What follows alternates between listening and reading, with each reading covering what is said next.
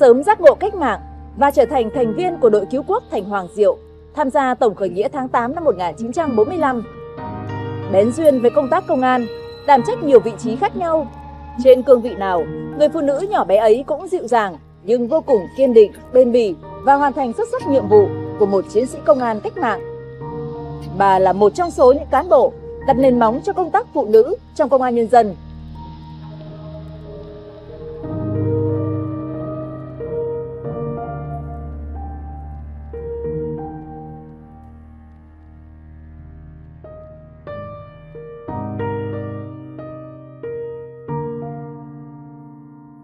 Nói ngày xưa mẹ hát hay lắm. Đúng rồi, ngày xưa cả nhà hát hay.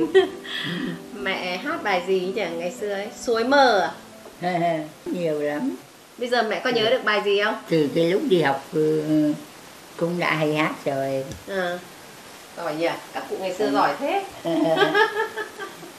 Hát thì khối bài thuộc. Bây giờ mẹ thử hát bài gì? Cái bài mà cứ phụ nữ hà nội họp là hát cái bài trùng trùng xây trong câu hát. Đấy bà đang hát lớp lớp đoàn quân tiến về. chúng ta đi. gieo vui lúc quân thù đầu hàng giờ ngày nào. Tung bay trên phố. Trùng trùng quân đi như sông quân tiến về đoàn quân tiến về bây giờ mất giọng thì không hát được nữa không nói to được nữa thế lúc mà mẹ đi tuyên truyền vận động đi tuyên truyền thì chủ yếu là nói chứ. À. Rồi với phụ nữ lúc bấy giờ nói chung là đến đứng ở bài nói đầu tiên là đứng ở góc chợ bưởi nói với chị em buôn bán ở chợ bưởi là nói về cách mạng tháng 8 chứ nói về giải phóng dân tộc giải phóng phụ nữ. Đấy là phụ nữ đầu tiên thì là bằng những bài hát. Thế rồi dạy bình dân học vụ dạy chữ. Chính cái phụ nữ ngay ngoại thành Hà Nội thì mù chữ nhiều lắm thời ừ. năm 45 việc đầu tiên là mở lớp dạy bình dân học vụ. Ừ. rồi đến cái vấn đề là đánh giáp của Nhật sinh ngày 16 tháng 6 năm 1928 trong một gia đình khá giả có truyền thống yêu nước tại làng Võng Thị, Hà Nội với tên khai sinh là Nguyễn Thị Sâm. Thời thanh niên sôi nổi, bà Lê Phương tham gia đội cứu quốc thành Hoàng Diệu, hòa vào làn sóng giành chính quyền trong cách mạng tháng 8 năm 1945. Kháng chiến toàn quốc bùng nổ, người con gái Hà Thành 18 tuổi rời gia đình lên vùng rừng núi để đem tinh thần, tư tưởng chống giặc rốt, chống giặc đói, chống giặc ngoại xâm đến với từng người dân ở bản xã vùng cao. Tôi hoạt động ở tiểu khu 10, ông Trần Quốc Hoàn làm bí thư Hà Nội. Thế là khi ông Trần Quốc Hoàn lên bí thư khu 10 sẽ lôi tôi lên khu 10. Tôi làm công tác phụ nữ cán bộ tuyên hướng của phụ nữ khu 10.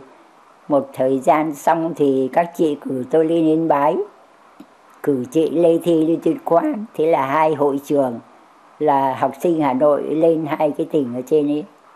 Về sau tôi mới biết rằng là các cụ ấy chuẩn bị cho chiến dịch Tây Bắc á, để đưa cán bộ vùng xuôi lên để vận động phong trào miền núi để cho người ta có ý thức cái vấn đề chống giặc Tây giặc Pháp từ năm 46 cho đến năm hết năm 48 là hoàn toàn dân nuôi không có lương mình như con chim sổ lồng ấy. lúc trước ở nhà không được biết gì bây giờ mình hiểu cái vấn đề ờ, đánh Tây đuổi Nhật, rồi mình thấy đời sống của dân khổ. Cho nên mình lăn lưng vào phong trào mà không có một ừ, điều gì suy nghĩ, không thấy gì là khó khăn.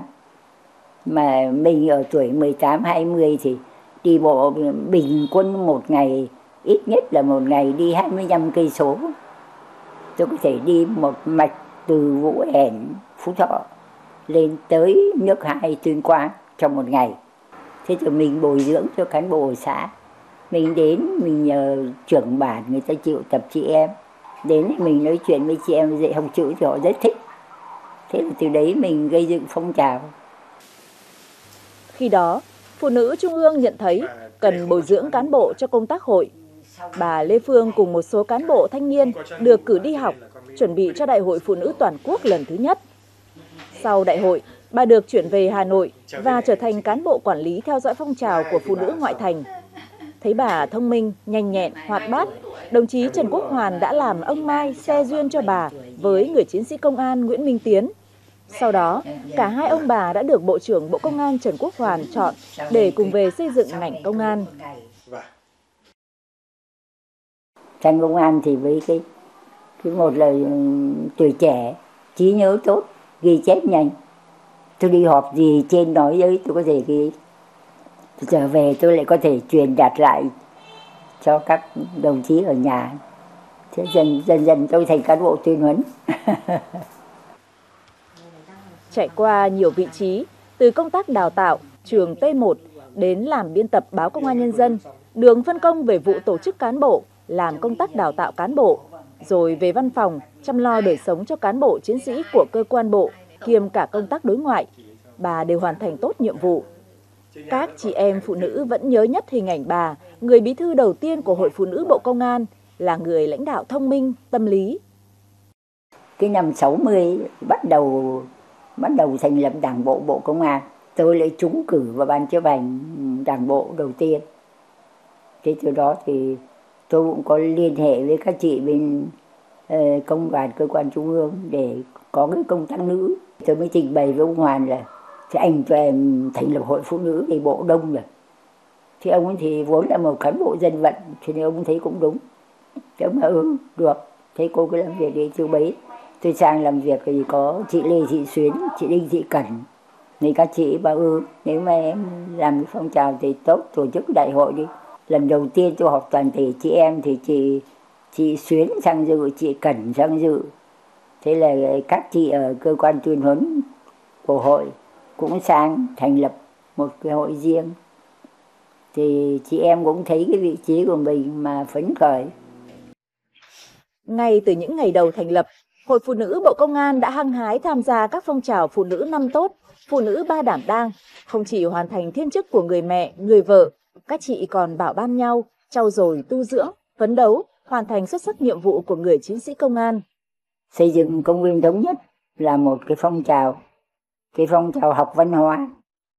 Tối thứ hai, thứ năm thì học văn hóa, tối thứ ba, thứ sáu là học chính trị, chứ không có được làm những cái việc vào giờ chính quyền thì trăm phần trăm chị em là đi học những tối ấy là để con ở nhà cho các ông chồng ông chồng phải trông để cho chị em đi học. Mẹ là một con người rất là là đặc biệt. Không những là phải biết làm mà phải biết quan tâm nhau. Ờ, trong gia đình thì bà quan tâm đến tất cả mọi người. Và bà dạy các con rất tỉ mỉ. Tôi cảm nhận đấy là một cái cái cái, như một cái bản năng của bà là tất cả có cái gì là phải truyền đạt được hết. Và giáo dục trong gia đình là con cái là phải theo cái nếp của mẹ mặc dù mẹ không quát mắng ai bao giờ, nhưng khi mẹ muốn là con phải làm được cái này, thì mẹ sẽ kiểm soát cho đến bao giờ con làm được chính nhờ những cái sự ừ, chăm sóc rất chu đáo và rất tỉ mỉ như thế mà cả ba chị em chúng tôi đều đều là trở thành người rất, người tốt và đều hoàn thành các nghĩa vụ đối với nhà nước và gia đình. Đi qua hai thế kỷ, trải qua bốn cuộc kháng chiến chống giặc ngoại xâm, bà luôn tâm niệm rằng mình đã nằm trong guồng máy cách mạng, mỗi việc mình làm để phục vụ cho sự nghiệp lớn lao của đất nước, của dân tộc. Là cán bộ phụ trách công tác nữ đầu tiên cho công an, với tác phong miệng nói tay làm, chân đi, bà luôn đồng hành ủng hộ hết mình cho sự nghiệp giải phóng và phát triển phụ nữ chị em bây giờ có nhiều điều kiện tốt có nhiều điều kiện tốt để hoàn thành nhiệm vụ của mình. Thì chị em hãy phát huy, bởi vì tôi tin là việc gì nam giới làm được thì phụ nữ cũng làm được. Ngược lại lại có những việc mà phụ nữ làm tốt hơn nam giới. Đúng trong cái công tác nghiệp vụ phụ nữ tỉ mỉ này, kiên trì này, đấy, và dẻo dai và nhẫn nhịn cái đức tính ấy của phụ nữ có nhiều việc mà vào trong công tác, địch vận chẳng hạn, trong tiếp xúc với xã hội chẳng hạn. Xác định được là làm được.